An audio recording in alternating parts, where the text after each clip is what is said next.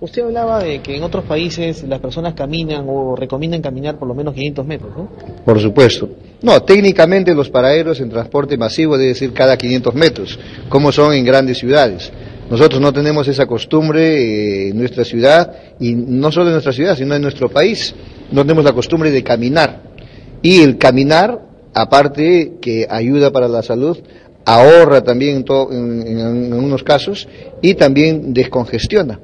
Entonces, hablamos nosotros de debemos de propiciar el transporte sostenible, donde se debe dar prioridad a la bicicleta, que es eh, mucho más sano para la salud.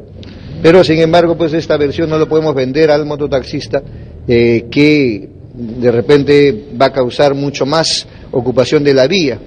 Entonces, nosotros todavía no podemos vender la idea a ellos del transporte masivo, donde tenemos que transportar pues en vehículos grandes que tengan capacidad para 80, 100, 150 pasajeros. Entonces, de repente los vehículos tan grandes no serían adecuados para nuestra ciudad, pero se debería pensar pues en transporte masivo cada vez, porque el transporte masivo va a ocupar menos espacio en la vía y aparte va a contaminar menos. Entonces, en el mundo no solo tenemos ahora el problema de congestión, sino también tenemos el problema de, de la tierra, ¿no? El problema del calentamiento global el de los eh, gases invernadero, estos problemas que recién en grandes ciudades y otros gobiernos se están tomando en cuenta, pero cosa que nos compete a todos.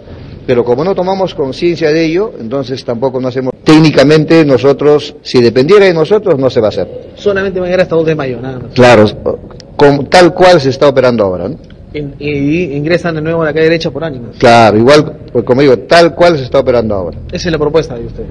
Así es. En realidad la propuesta eh, de ellos era pues variar y entrar por Banco de la ¿Qué va a pasar con el paradero Wando, que están aquí en Ánimas? Una vez que implementemos el plan regulador, nosotros vamos a ejercer un control mucho más agresivo para que todas las empresas regulares salgan de los paraderos, de sus paraderos autorizados vamos a tener que hacer operativos conjuntamente con la policía para que no estén pues, los vehículos en las calles estacionadas en zonas rígidas, en lugares que no están autorizados. Desgraciadamente, nosotros no tenemos ahorita una varita mágica para cambiar el pensamiento de las personas que han sido acostumbradas por más de cinco años y medio a ciertas irregularidades, pero tenemos que tener un instrumento de gestión que es el plan regulador para tratar de, a partir de ese instante, empezar a controlar y tratar de regular.